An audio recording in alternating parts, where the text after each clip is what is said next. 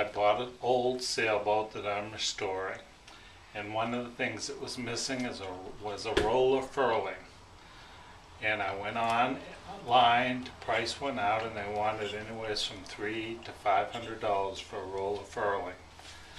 I checked it out on YouTube that somebody had made a homemade roller furling out of PVC pipe.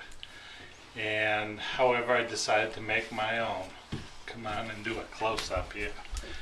This is a sprocket from a bicycle wheel. I cut out all the spokes. I bought a U-bolt and bolted it on both sides with these underneath bolts be, being those nylon bolts that don't let go.